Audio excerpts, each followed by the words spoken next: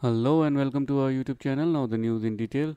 The Rajya Sabha was alive with sound of poetry Thursday after Congress boss Mallikarjun Kharge quoted Kabir Ayoknik कल करे सो आज करे couple to attack the Bharatiya Janata Party over delays in implementing the women's reservation bill which sailed through the Lok Sabha last night. Mr. Kharge called on the government to amend the bill and allow 30% of seats in the lower house and state legislature to be reserved for women in time for the election in 2024. At present, the bill requires a census and a delimitation neither likely before 2029 before it comes into effect. Amendment of this bill is not difficult.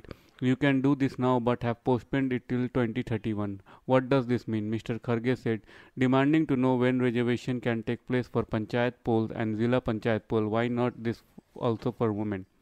Do it today. I'll tell you Kabir's poem Kal kare so aaj kare aaj kare so ab said he shouted over the ruckus as Rajya Sabha chairperson Jagdeep Dhankar grinned and gestured him to take the seat.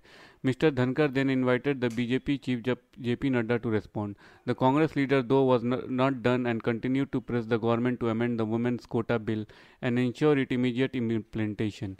This is why you should do this now. Do it today. We are ready. It is not illegal. Nothing. Mr. Kharge insisted, insisted to the chair. That's the end of the story. If you like the content of our video, please do hit the subscribe button, share it with your families and friends, and do not forget to post your suggestion in the comment section below. Thank you. Have a great day. Bye bye.